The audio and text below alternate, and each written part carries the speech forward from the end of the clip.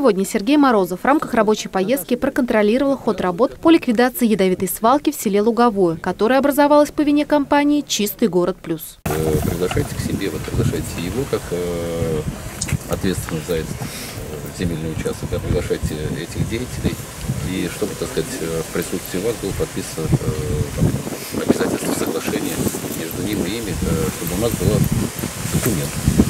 В мае 2019 года региональный Росприроднадзор выдал компании лицензию на сбор, транспортировку, обработку, утилизацию отходов высокого класса опасности. Местом ее деятельности была определена территория на Московском шоссе 52Б. Однако коммерческая структура, вопреки требованиям, складировала пластиковые емкости от пестицидов и агрохимикатов в нескольких метрах от жилых домов в селе Луговое. Местные жители забили тревогу сразу же, но ситуация разрешилась только после вмешательства региональной власти.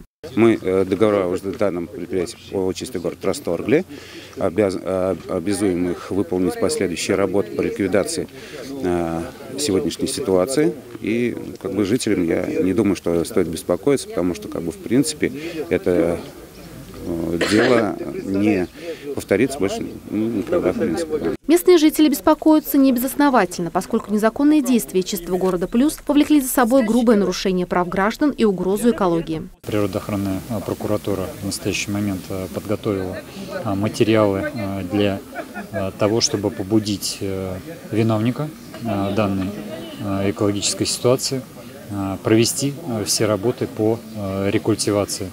Э, по технологиям здесь возможно произвести срез Э, верхнего слоя почвогрунта и его уже удаление. Несмотря на все благонадежные прогнозы экологов, местные жители все же опасаются за свое здоровье и в частности их тревожит качество питьевой воды, поскольку при устранении свалки большегрузной техникой был задет водопровод. Сразу же, э, когда это случилось, выехала лаборатория наша, аккредитованная лаборатория центральной питьевой воды, сделали э, пробы воды, взяли здесь и э, в домах, которые уже дальше на этом водопроводе э, питаются от этого водопровода. Значит, э, анализы делали и химические, и э, микробиологические. Ни одного отклонения не обнаружено.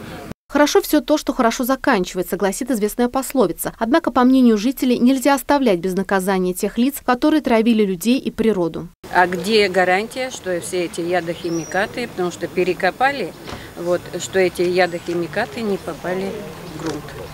Вот. Поэтому мы хотим, чтобы навели здесь порядок, разобрались, кто виноватый. Вот. По закону они понесли ответственность. И впредь, чтобы не было такого безобразия. На сходе граждан активисты села решили, что лучшим вариантом завершения этой истории может стать народный парк, который должен появиться совместными усилиями администрации и местных жителей. Губернатор дал поручение ответственным лицам проработать этот вопрос. Наталья Чумаченко, Данил Сурков. Новости Улправда ТВ.